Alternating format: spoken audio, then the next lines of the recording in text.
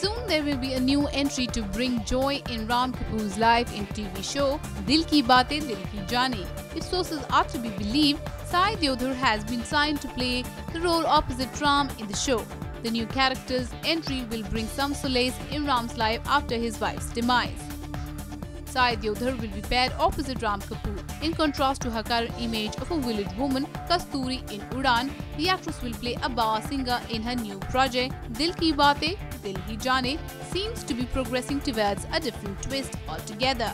Ram Kapoor will be out on bail. He would want to reconcile with his kids, which will not be an easy task as Disha is in no mood to forgive her father.